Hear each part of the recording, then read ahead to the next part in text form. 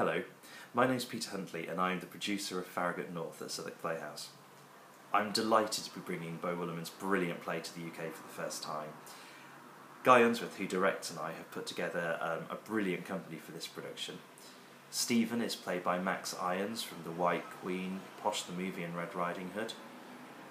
Ida is played by Rachel Tucker from I'd Do Anything and Wicked and We Will Rock You.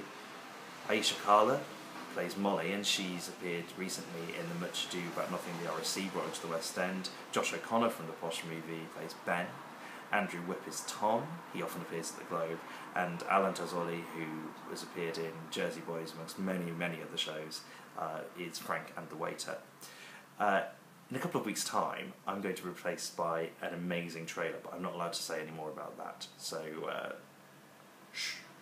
Um, in the meantime, I'm here to talk to you about needing your help. Um, take a look at the rewards on this page. We'd love you to be involved in the show, and if you can give anything, please do. If not, we look forward to seeing you at Southwark Playhouse, and I really hope, and I think you will, enjoy this production. Thank you.